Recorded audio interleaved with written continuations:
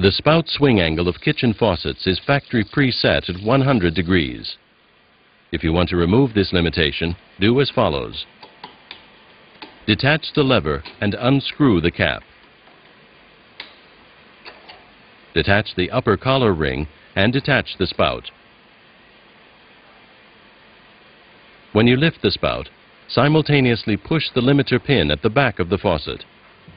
Detach the limiter pin from the faucet body. If you want to limit the spout swing angle further, use a limiter that sets the swing angle from 40 to 80 degrees.